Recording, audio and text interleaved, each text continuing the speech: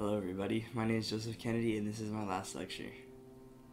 I was born December 29, 2002, in Torrance, California, to my loving parents, Lauren and David Kennedy. my parents are some of the most loving and understanding people that I know. They always know what's best for me and how to help me. They both teach me very important life lessons that I've used every day throughout my 16 years of life.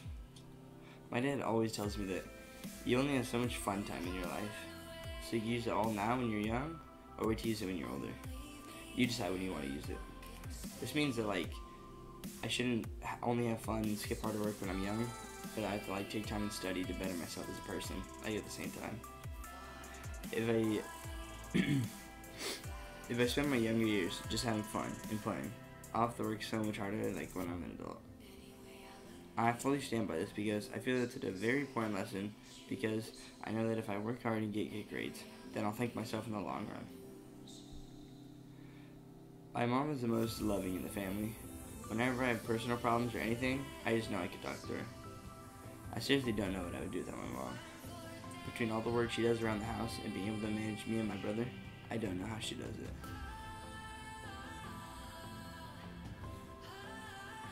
I began playing soccer when I was 8 years old, and when I first stepped on the pitch, I instantly fell in love with the sport. When playing soccer, no game is like the last, because there's just so many factors that contribute to a game, such as the field size, the opponents you're playing, or if you're just having a good day in general. That's why I love it. I played soccer for 8 years now, and I still enjoy it. I started out playing recreational soccer until I was about 12 years old, and then I realized I wanted to go to the next level of competition.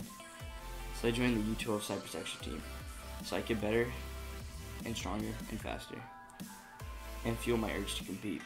But that year, the same team, they decided to go to the even higher level, was club soccer, where you had to pay thousands of dollars just for a season. Getting used to the high intensity level of club soccer was difficult at first, but I grinded to get better by spending countless hours trying to improve my speed and strength.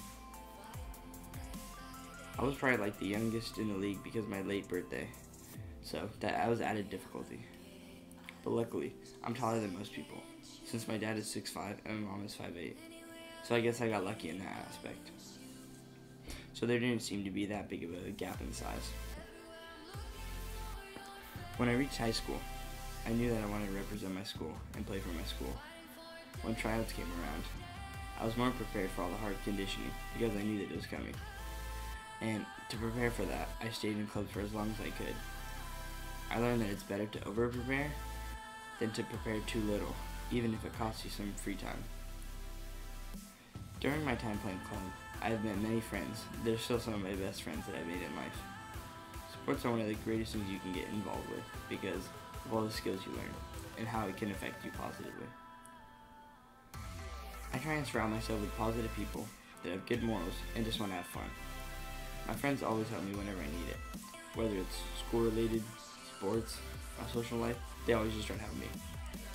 They help they help shape me into who I am today. When I grow up, my dreams are to graduate college, get my master's degree.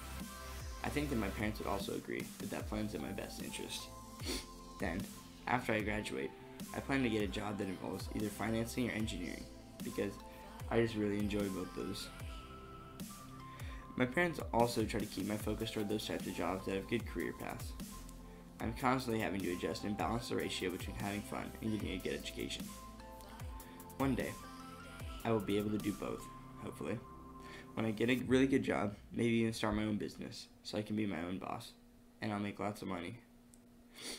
My goal, wherever life takes me, whatever dreams I can accomplish, is to enjoy life as much as possible because I only get one. I want to live life to the fullest. My name is Joseph Kennedy, and thank you for listening to my last lecture.